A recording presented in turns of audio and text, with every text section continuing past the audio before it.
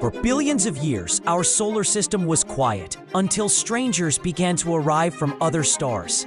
In 2017, the first visitor appeared, 1I Oumuamua. It wasn't like any comet or asteroid we'd seen. No coma, no tail, just a faint, tumbling shard. Then, as it slipped away, it accelerated mysteriously, as if pushed by something invisible. Oumuamua left us with only questions, a riddle vanishing into the dark. Two years later came 2I Borisov. At last, something familiar.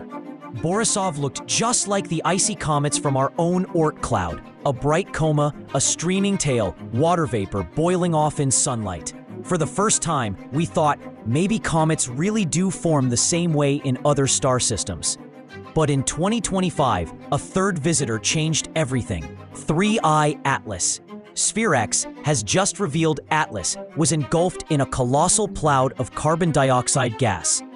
Nearly a billion, trillion, trillion molecules escaping every second, filling space with hundreds of tons of CO2 every day.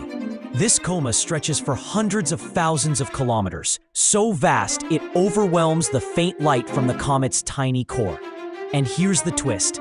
While CO2 pours off in torrents, water vapor is nearly absent. At most, Atlas produces five times less water than CO2, the opposite of comets in our solar system, where water rules. Even carbon monoxide is weak, making Atlas a comet whose chemistry doesn't fit the mold. Its nucleus? Probably smaller than 3 kilometers across, yet over 99% of its brightness comes not from the surface, but from the dust cloud it releases. And strangely, despite all that activity, there are no jets, no tail, only a diffuse, ghostly haze drifting silently through space.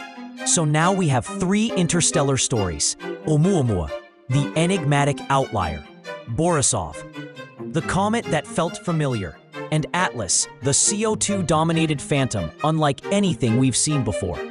Each one reshapes our picture of distant planetary systems.